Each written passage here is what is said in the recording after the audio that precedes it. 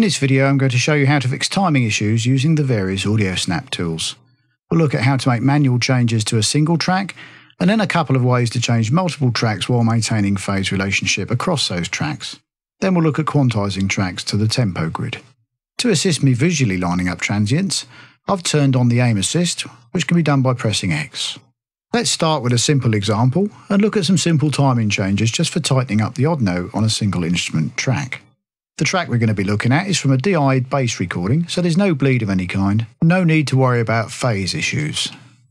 There's a point in the project here where the bass guitar is slightly off from the kick, so let's have a listen.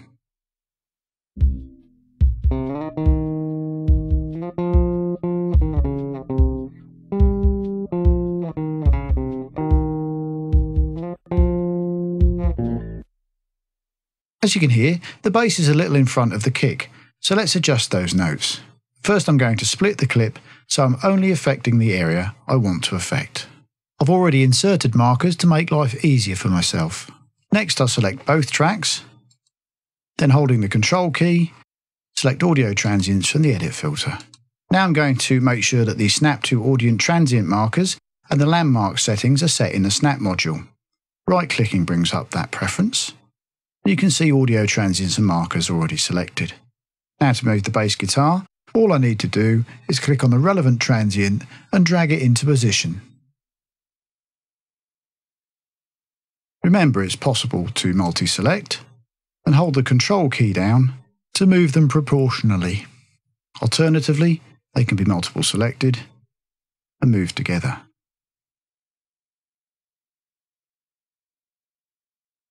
Now let's have another listen to that.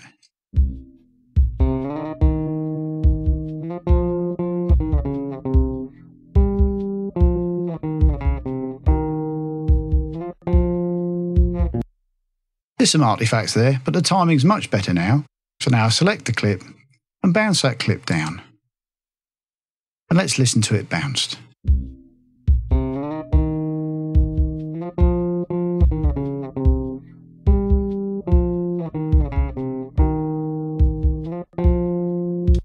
Okay, so far so good. Now let's look at something a little more complex and adjust multiple tracks where phase will be an issue. Here we have a kick drum and snare drum track with a couple of overheads. The snare and kick will both be audible in the overhead tracks, so it's important that when adjusting a transient in one track, we adjust the same transient in all tracks to keep the tracks' phase relationships. If we don't, there'll be phasing issues introduced. For example, if a snare beat is heard in the overheads and we move the snare in the snare track but not in the overheads, then our phase relationship will be changed. This is what we want to try and avoid. Audio Snap has tools to make that relatively easy. The first thing to do here is to select all of the tracks and then change the edit filter on one of them while holding the control key down to audio transients. From here, there are a couple of different ways to achieve the same result, and we'll look at both. The first is to make sure that all the tracks are still selected. Call up the Audio Snap palette by pressing A, and reduce the threshold setting all the way down to zero, which will show all possible transients, and any snare or kicks in the overheads will have their own transients as well. I'm going to zoom in slightly so you can get a slightly better view and move the Audio Snap palette. Now when I double click on a transient to select it, the matching transients in the other tracks are also selected. This is because Sonar is selecting the transients on other tracks that fall within a preset window of time around the transient we double click on. The default window is 50 milliseconds, which means any transient within 25 milliseconds of either side of the double click one will be selected. This setting may be enough, but may need increasing, especially if you have room mics on your drums. If it does need changing, open the Audio Snap properties and you're looking for the pool transient window. I'm going to increase mine to 100 milliseconds anyway. Then click on OK. Once the transients in each track are selected, they can be drag moved in exactly the same way as we did on a single track a few moments ago. The second method is slightly different. First, we need to make sure that the overhead tracks and any room mic tracks are the only ones selected. And now we need to disable all transient markers. To do that, we right click in the clip area and from the context menu, select Markers, Enabled, then right click on a marker and select Disable. Then deselect the overheads and select the individual drum tracks. I only have a kick and a snare here, but toms and hi-hat tracks would be included if there were any. Now I'll check that the threshold is reduced to 0 dB And if you wish, you can filter by resolution. That will reduce the transients to that musical time frame, but I'm going to leave it on all. Now I'll add the two overhead tracks to the selection by holding the control key down and clicking on their numbers, and then right click over one of the clips and select Merge and Lock Markers.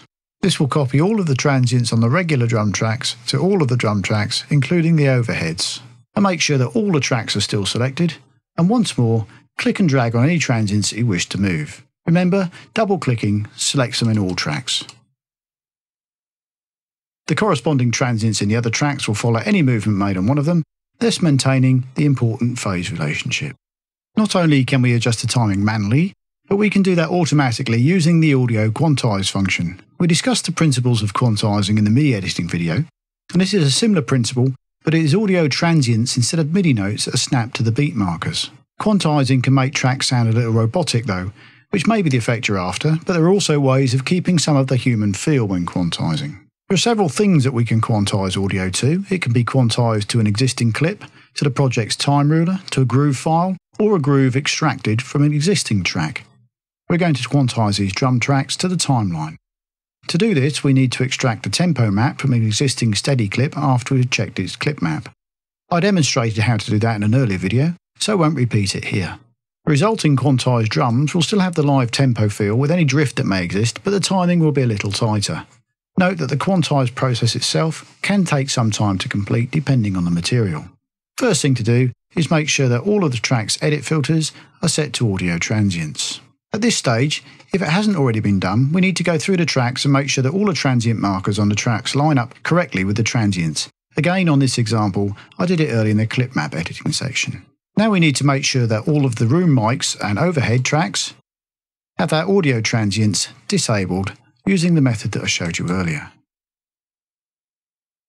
Now select the snare drum track and check its internal clip map is set correctly Then I'll set the filter resolution to eighths so that they are the only transients showing. Now I'm going to select all of the drum tracks, then choose the Merge and Lock Markers option again. Once that's done, I'll open the clip inspector and turn off the clip lock. I want to be able to move the clips.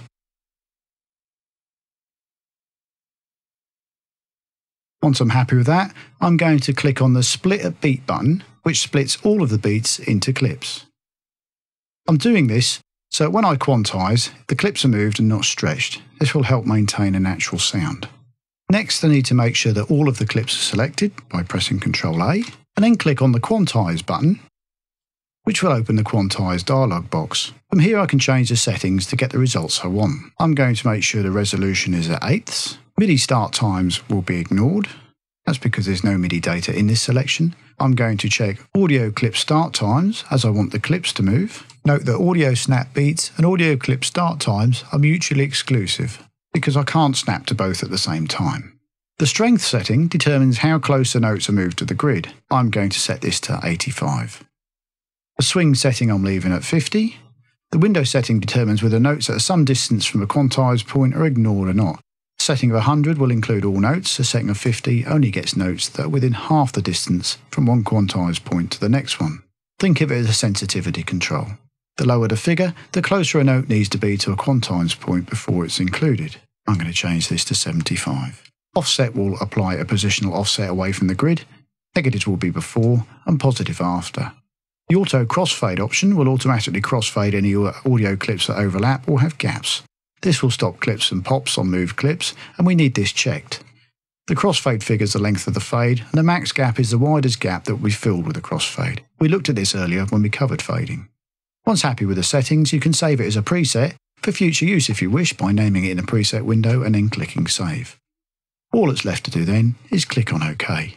Once that's finished, we should have a much tighter drum track that still have its tempo drifts in place.